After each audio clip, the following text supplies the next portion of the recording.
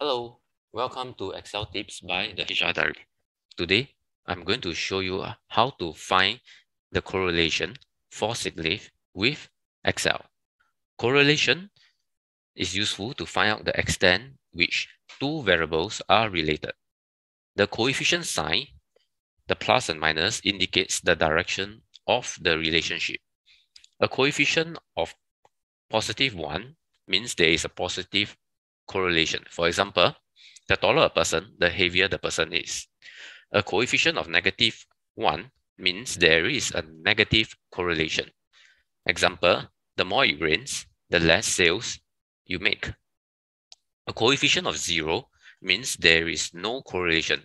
For example, there is no correlation between the amount of coffee you drink and your intelligence. In this spreadsheet, I've got the working hours in column B and the sick leaves in column C. Note that there are no blank cells in this data. Click on any empty cell and then uh, click on the function button on the toolbar.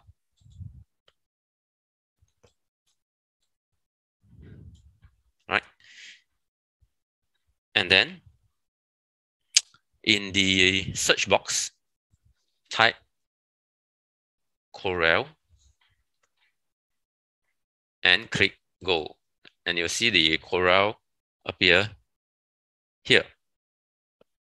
Then click OK.